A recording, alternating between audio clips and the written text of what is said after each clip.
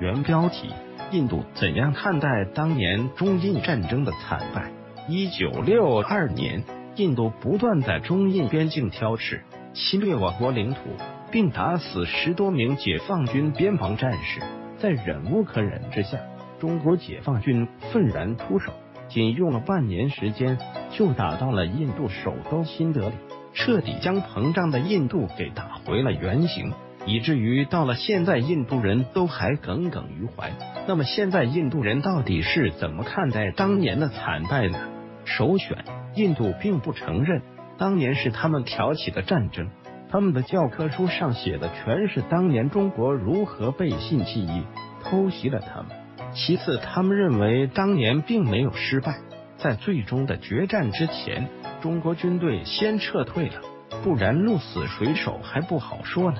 不承认先挑起战争，这个可以理解，毕竟连日本鬼子侵占中国时都要费尽心思的找个理由呢。可是他们为什么不承认失败呢？要知道，当时我们可都快打到他们首都新德里了，吓得他们国家元首都快跑了，这还不算失败。大家都知道，当初打印度只是为了惩戒，并不是侵略。所以，当志愿军到家门口警告一番后，又撤走了，并没有占领，所以这也给了印度一个吹嘘的借口。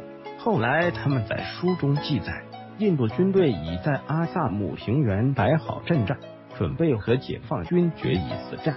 但没想到，解放军竟然被吓跑了。没错，是被吓跑了。这样扭曲事实的事情，也只有印度干得出来。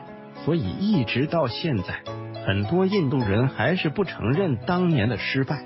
毕竟印度一直号称自己是军事强国，如果让人知道当年他们被解放军在不到八年的时间就打到了首都，这让他们的脸面往哪个？所以这样想来，也就不难理解为什么他们一直不愿承认当年的失败了。返回搜狐，查看更多责任编辑。Thank you.